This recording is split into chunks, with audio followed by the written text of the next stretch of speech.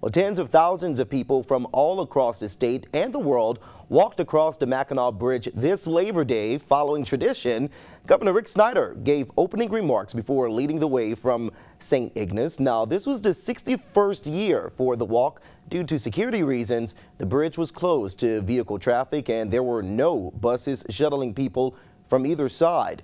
To help people get back to their cars, ferries were running back and forth across the Straits all morning long.